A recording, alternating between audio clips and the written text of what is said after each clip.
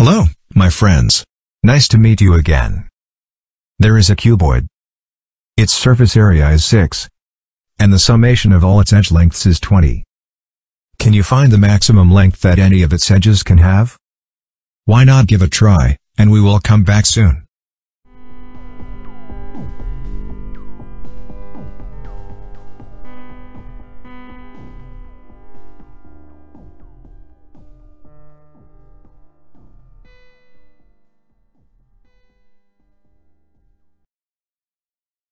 Let's use the letters A, B, and C to represent the edge lengths of this cuboid.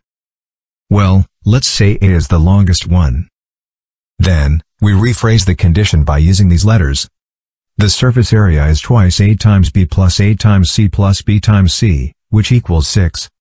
The summation of all edges is 4 times A plus B plus C, which equals 20. To simplify a bit, a times b plus a times c plus b times c equals 3. a plus b plus c equals 5. There are three variables, and it is usually not easy to calculate the maximum or minimum value of one of the variables in this case. In general, the cases of fewer variables are simpler. In comparison, the case of two variables is would be simpler, and the case of one variable is best. Therefore, we can first try to regard this three-variable problem as a two-variable problem. How to do that? We note here that a plus b plus c equals 5. If we consider b plus c as one variable, the problem would only have two variables then. And because a plus b plus c is a constant, finding the maximum value of a is equivalent to finding the minimum value of b plus c. Then, by integrating a equals 5 minus b plus c into the other equation, we can further reduce the number of variables, this gives the difference of 5 minus b plus c times b plus c plus b times c equals 3. To tidy it up a bit, the square of b plus c minus 5 times b plus c plus 3 minus b times c equals 0. There are only b plus c and b times c in this formula, which is perfect. Because we know that, the square of b plus c is not smaller than 4 times b times c. By using this conclusion in the original formula, we will obtain an inequality.